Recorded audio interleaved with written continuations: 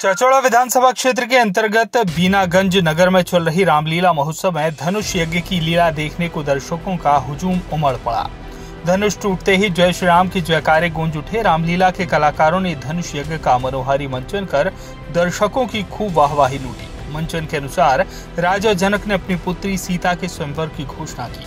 शर्त यह थी कि जो कोई भगवान परशुराम के शिव धनुष को भंग करेगा, उसी के साथ पुत्री वैदेही का विवाह होगा। उन्होंने देश भर के राजाओं को स्वयंवर में शामिल होने का निमंत्रण भेजा। कोने कोने से शूरवीर, राजा, राजकुमार आए। सभी बारी बारी से शिव धनुष को उठाने का प्रयास करने लगे, किंतु कोई धनुष को हिला तक नहीं पाया।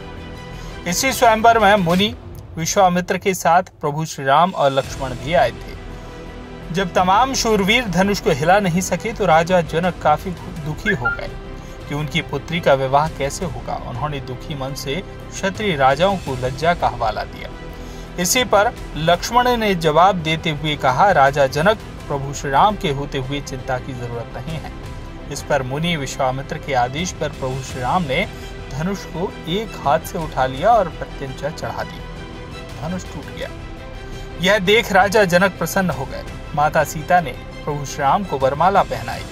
धनुष टूटते ही दर्शकों ने जय श्री राम के जय घोष लगाए। इस रामलीला में बड़ी संख्या में श्रोतागण उपस्थित रहे और रामलीला मैदान खचाखच भरा, जिसमें बीनागंज सहित दूर दराज से भी लोग धनुष यज्ञ को देखने पहुँचे। चाचौड़ा से धर्मेंद्र प्रेती की रिपोर्ट।